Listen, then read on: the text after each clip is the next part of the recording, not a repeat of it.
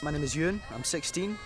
I'm from a, a village called Ceres. It's a village nearby St Andrews and I just came in today to do a bit of a bit of piping really. It's the home of golf, St Andrews is, and a lot of tourists come to see the golf and they see me piping and I play for them. That makes me money to towards my piping, it pays for my tuition and for for bagpipe.